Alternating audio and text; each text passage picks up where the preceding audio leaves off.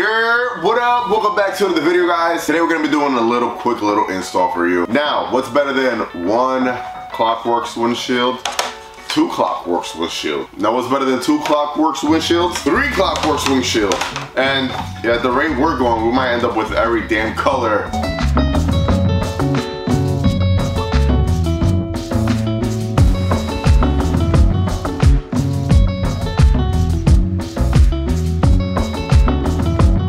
So I originally had the blacked out uh, windshield.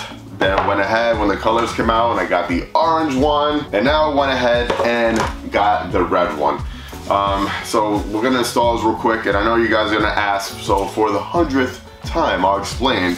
The reason why I had the orange windshield on a red bike is because there is an orange pinstripe that divides the black and the red on that bike. Yes, there is an orange on that bike. So that's one of the reasons why I got it. Also, because during that time, the red was sold out for a really long time. A really, really, really long time. But it was available and I went ahead and I bought it. Anyways, let's just install. This is gonna be a quick little install, just four little screws and we're done.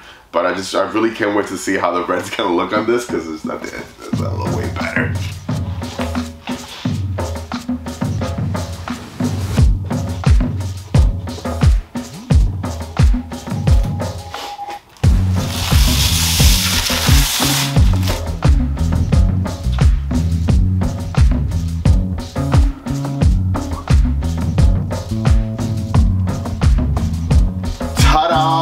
So real quick, let me know down below what do you guys think? Do you guys like the red? Do You guys love the red? Do You guys hate it? Did you guys really like the orange or do you just prefer the blacked out look? Honestly, the good thing about this is that I can always swap out and change the look of the bike with just a simple little windshield like this. This is the 9 inch flare by the way, so I know you guys are gonna be asking how tall is it. 9 inch, for me, I'm 5'7". It keeps all the wind off of me. It works great. It looks great. Um, just a really good looking windshield that kind of adds on a little pizzazz to the looks of the bike. And most of all, it just helps out with the wind coverage. So there you have it. That is the Klock Werks 9 inch flare windshield.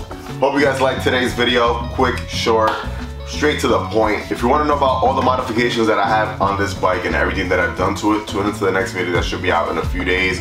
We're gonna be going over all the parts, all the accessories that are on this bike right here. This is my 2021 Road Glide Special.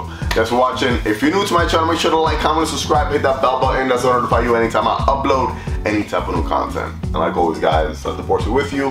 Ride safe and enjoy the ride, baby. Peace.